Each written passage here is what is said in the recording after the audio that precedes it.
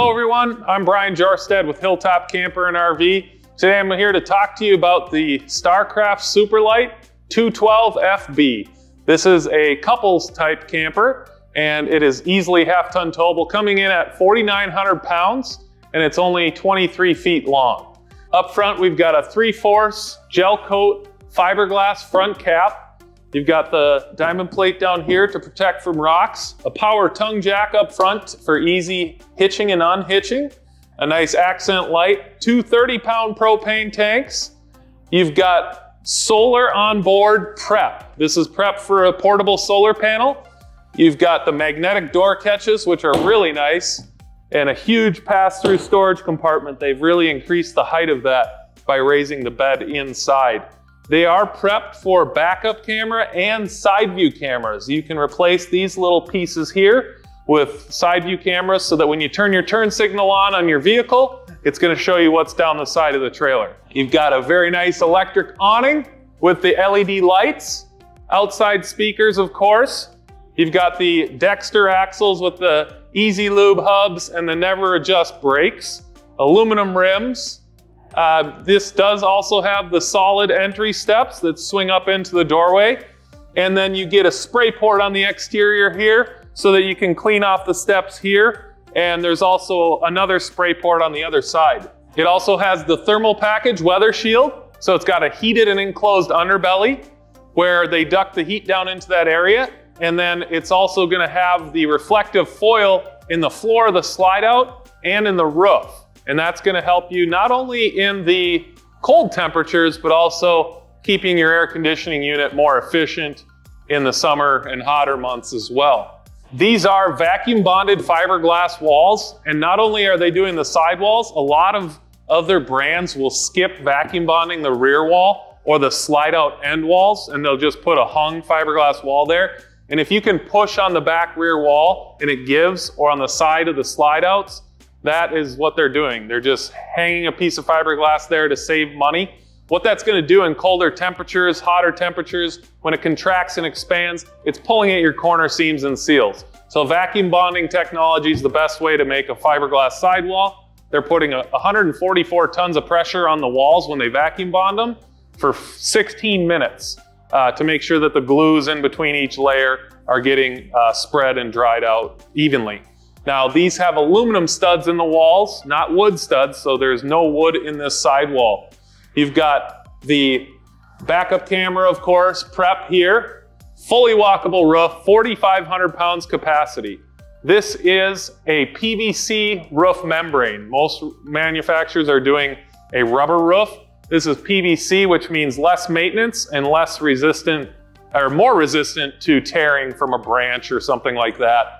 Um, this does have a quick connect back here. If you want to hook up a grill outside or a stove or a blacktop griddle, you can do that and set it up out here on a table or on the ground. Um, you do have your outside shower port back here and um, black tank flush feature so that you can flush out your black tank when you're dumping your tanks to uh, avoid those false readings on your monitor panel. Uh, you got a full-size spare tire here. And then I think we'll head inside and take a look at some of the interior features. All right, inside we've got a lot of nice features to talk about. A lot of Superlight brand trailers or Superlight styles of RVs are gonna skimp on ceiling height or fridge sizes and things like that to get them to a lighter weight. In this model, you can see it's an 81 inch ceiling height, so plenty of headroom. Um, over here, you've got an eight cubic foot gas electric fridge, opposed to most stuff in this range would be like a six cubic foot um, gas electric fridge. Uh, you got nice pantry space over here, well tucked in there to the corner. Uh, you've got a double bowl, or actually this is a large single bowl sink um, with the countertop covers, which is really nice to have um, extends your counter space, which this one obviously isn't lacking at all. You've got the Furrion stove, and this folds back here to make a nice, nice backsplash, and it's nice and flush when that's down as well. Um, you've got your microwave, you've got a nice sized television with the Furrion soundbar, which is Bluetooth and uh, HDMI compatible. Over here, you got the digital thermostat for your furnace and air conditioning to make it really easy to dial in exactly what temperature you want it set at and just leave it. Uh, this air conditioner is actually a 15,000 BTU air conditioner standard. Um, and they don't just have a central unit that blows around. They actually took the time, even in a shorter unit, to duct the air conditioning system. Um, you've got the sofa here, which makes into a huge bed. That's a trifold hide-a-bed section there. And then this chase lounge area is pretty slick.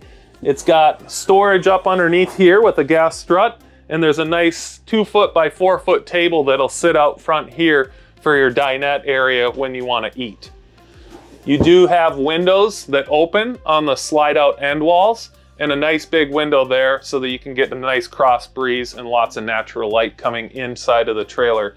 These do have now the roller MCD shades, which people love over the fabric day shades. Uh, we'll head into the bathroom here and take a look around at some of the bathroom features. The bathroom's got a nice bank of storage behind the toilet here with cabinetry. You've also got a vanity above the sink and a nice neo-angle rounded shower. You've got skylight, a roof vent with fan, and this is a foot flush porcelain toilet. They didn't go to plastic like most brands will do. Over in the master bedroom area here, we've got some unique things here. You've got a laundry chute that goes down into your front storage compartment so you can just keep the laundry bin down there. Open this up, throw the dirty clothes down there and close that back up. You've got ample storage on both sides, hanging space here, actual doors, not just a shelf up here. And what I really like about this um, storage underneath the bed here is on this side you've got drawers that come out and they've cut this area out so you can store tubs under here. And then you've got shelving over here so that uh, it's just a little bit different uh, setup for you to organize clothes and whatnot underneath there. You've also got plugins on both sides of the bed and there's USB outlets as well and small drawers on each side too. Thanks for watching our video and make sure you stop into one of our four locations to check out the Starcraft Super Lite 212 FB.